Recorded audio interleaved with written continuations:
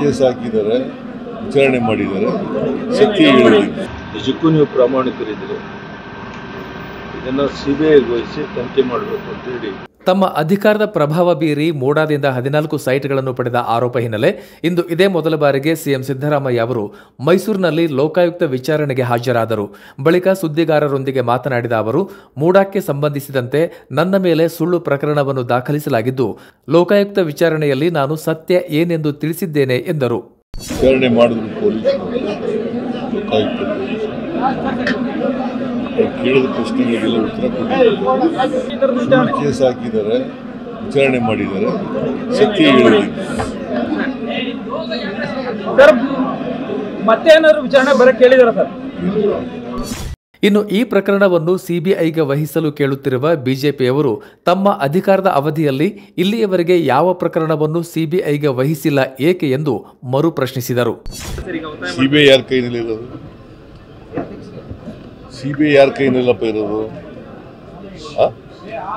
ಇವರು ಬಿಜೆಪಿಯವರು, ಯಾವತ್ತಾದ್ರೂ ಪಿಯವರು ಯಾವತ್ತಾದ್ರು ಸಿ ಬಿ ಐ ಕೊಟ್ಟಿದ್ದಾರೆ, ಯಾವ್ದಾದ್ರು ಒಂದು ಪ್ರಕರಣನ, ಯಾವ್ದಾದ್ರು ಒಂದು ಹಗರಣ ಹಗರಣನ ಸಿ ಬಿ ಐ ಕೊಟ್ಟಿರ್ತಕ್ಕಂಥ ನಿದರ್ಶನ?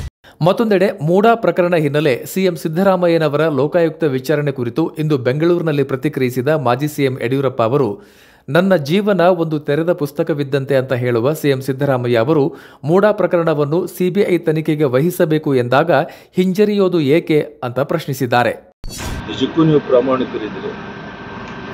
ಇದನ್ನು ಸಿ ಬಿ ಐಗೆ ವಹಿಸಿ ತನಿಖೆ ಮಾಡಬೇಕು ಅಂತೇಳಿ ನಾನಲ್ಲ ಎಲ್ಲರೂ ಸಹ ಕಂಪ್ಲೇಂಟ್ ಕೊಟ್ಟು ಸೇರಿ ಎಲ್ಲರೂ ಸಹ ಆಗ್ರಹ ಮಾಡ್ತಾ ಇದ್ದಾರೆ. ನಾನು ಸಹ ಆಗ್ರಹ ಮಾಡ್ತಾ ಇದ್ದೇನೆ. ಇದನ್ನು ಸಿ ಬಿ ಐಗೆ ಕೊಡಬೇಕು. ವಾಸ್ತವಿಕ ಸತ್ಯಸಂಗತಿಗಳು ಹೊರಬರಬೇಕು. ನೀವು ಭ್ರಷ್ಟಾಚಾರದಲ್ಲಿ ಮುಳುಗಿದ್ದೀರಾ ಅನ್ನೋದು ಜಗತ್ತಿಗೆ ಗೊತ್ತಿರುವಂಥದ್ದು. ಸೊ ಇದೆಲ್ಲ ಸಂಗತಿಗಳು ಬಯಲಾಗಬೇಕು ಅಂತಿದ್ರೆ ಸಿ ಬಿ ಐಗೆ ವಹಿಸಿದಾಗ ಸತ್ಯ ಹೊರಬರುತ್ತೆ.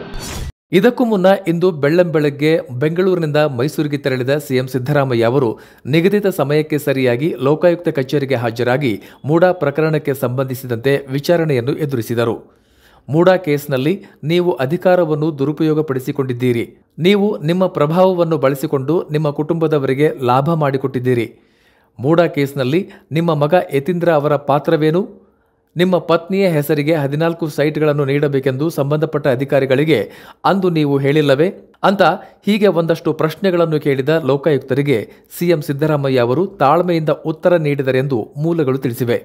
ಇನ್ನು ನನಗೂ ಮೂಡಾ ಕೇಸ್ಗೂ ಯಾವುದೇ ಸಂಬಂಧವಿಲ್ಲ.